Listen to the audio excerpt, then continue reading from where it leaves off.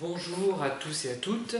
Je vais poursuivre la lecture euh, des textes euh, sur les pervers narcissiques, hein, notamment euh, sur le père si étonnant que nous décrit la jeune femme que j'ai brièvement évoquée dans les précédentes vidéos.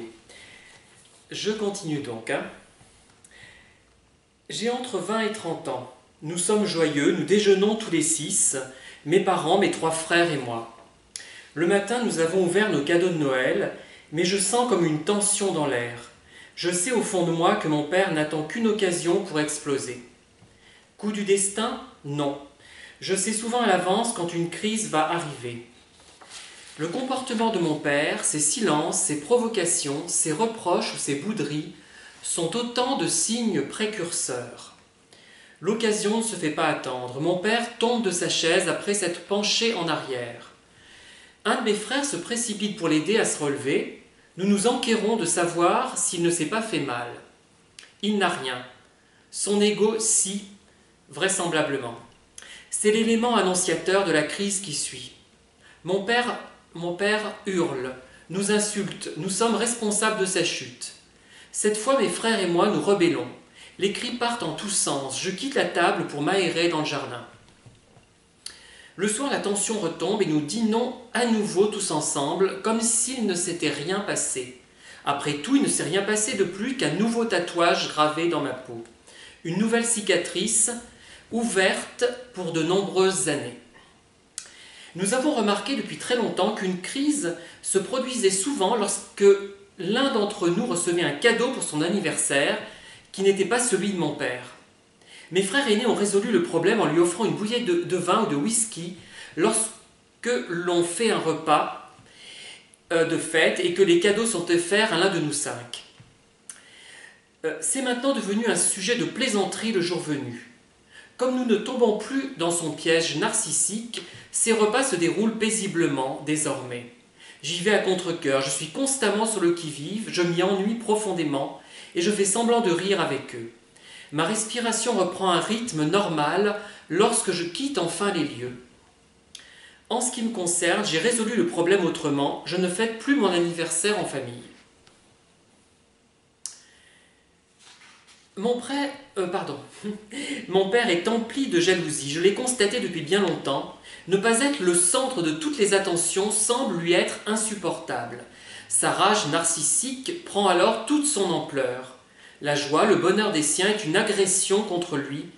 Il veut être sur un piédestal. Pour mon père, les gens heureux ont forcément des failles, ils ont des tares et leur bonheur est un mensonge qu'ils se font à eux-mêmes. Ils ne savent pas ce qu'ils font, ce sont des ignorants. Si une activité les passionne, s'ils ont une certaine douance dans ce qu'ils créent, ils sont dans l'erreur et leur vie est misérable. Ils s'éloignent de la perfection telle que mon père la conçoit, c'est-à-dire sa propre vision de la vie. Il lui faut alors trouver un élément pour les anéantir, les annihiler, les critiquer, nier leurs choix et leurs envies. Les gens heureux représentent un terrible danger. Ils sont le miroir de ce qu'il n'est pas, de ce qu'il ne parviendra jamais à atteindre, afin de ne pas se noyer dans son vide cyclopéen. Il lui faut enlever ce que possède l'autre. Il ne connaît pas la plénitude, il veut contrôler, et le bonheur est un sentiment qu'il ne peut pas maîtriser. L'amour est une mascarade, il n'en a pas reçu enfant, il s'est forgé une carapace, s'est coupé de toutes ses émotions pour se protéger et survivre.